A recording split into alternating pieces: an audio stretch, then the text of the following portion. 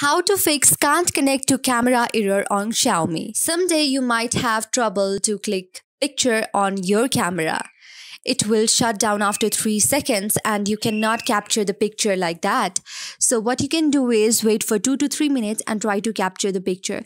But still if you cannot do that then do follow the steps. What you can do is go on the settings of your phone after going on the settings of your phone, click on About Phone and you will see many options. Among here, click on All Specs and scroll down and down and tap on kernel version from 2 to 3 times. After tapping, you will it will open and then search for the option of camera. So let's check our camera. So we can see that the back camera does work and the front camera also does work. So there is no problem in our camera. But after doing still it does not work then don't worry. There is next thing what you can do is Simply scroll down and down and click on the apps option and now click on manage app.